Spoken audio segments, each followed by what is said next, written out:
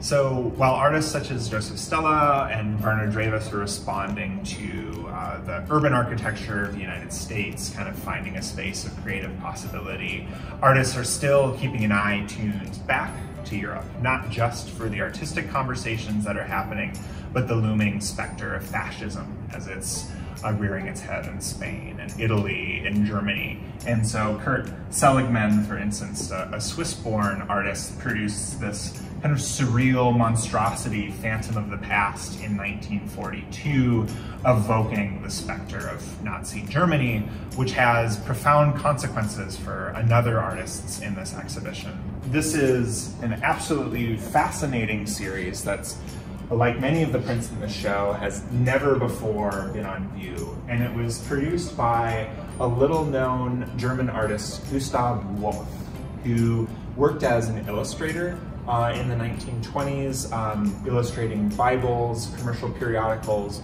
children's books, and has this very inventive, fantastical style.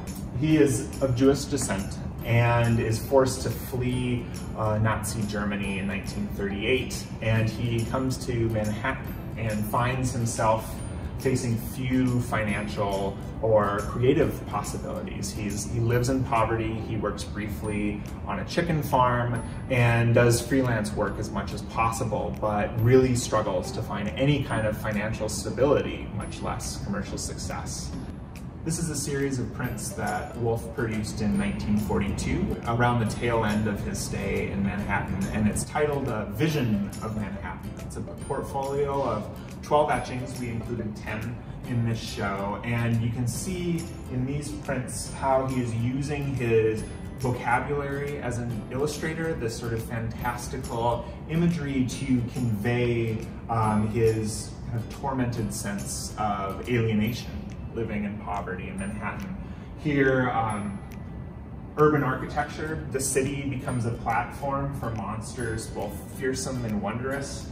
Um, there are these really remarkable prints of angels or ghoulish sort of things or snakes sort of floating through this city that's utter, otherwise entirely desolate and vacant and hostile. It's a very different response when you put it into comparison with what um, Joseph Stella or Werner Drewes are producing slightly, slightly earlier on. Um, Wolf's story is somewhat of a tragic one. He um, holds out hope of being able to return to Germany after World War II, but um, dies of complications from an illness before doing so.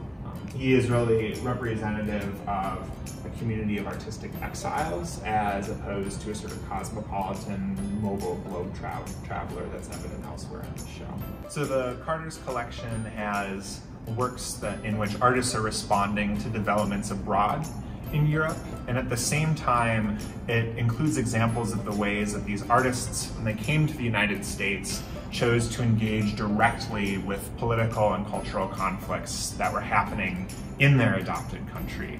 Louis Lozowick, for example, is an outspoken um, socialist activist in addition to his art making, and in the 1930s and 1940s he created several prints that affirmed his empathy for black victims of American racial oppression.